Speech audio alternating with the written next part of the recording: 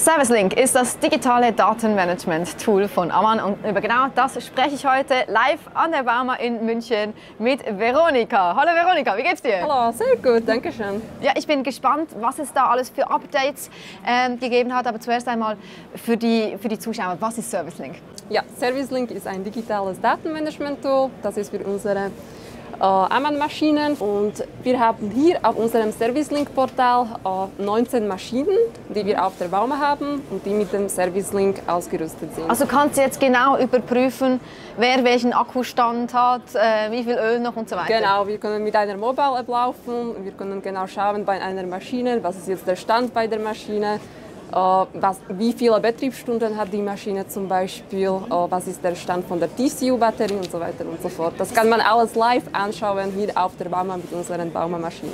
Das erleichtert dann auch die Wartung, oder? Man weiß genau, wann man eben eine Wartung durchführen muss. Genau, man hat genau die äh, Betriebsstunden von den Maschinen, man weiß, wo die Maschinen sind und dann, das erleichtert genau die Wartung, aber auch die... Ah, also die gehen auch nicht so einfach verloren. Ja, genau.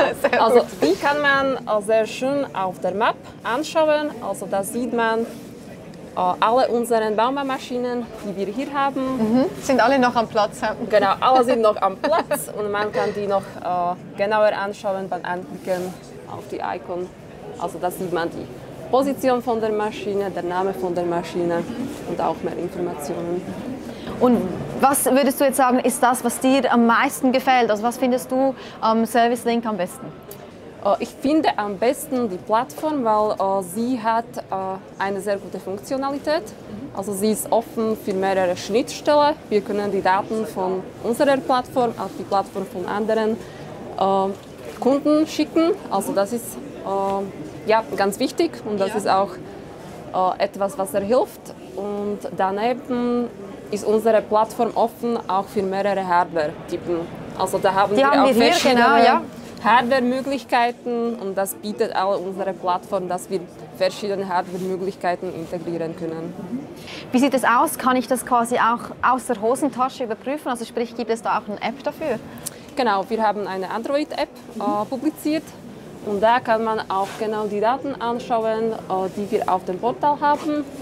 Also man könnte von der App zum Beispiel die Betriebsstunden von der Maschine anschauen, Batteriespannung von der Maschine, Batteriespannung von der TCU. Und wir könnten zum Beispiel auch die Position anschauen. Man kann sogar auch die Maschine tracken.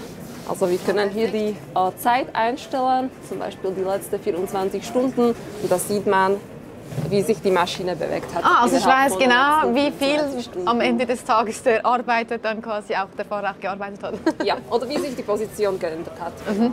Okay, ja, also ich finde Service Link ist äh, ein unglaublich spannendes Tool und falls ihr weitere Fragen habt, dann steht Veronika euch zur Verfügung.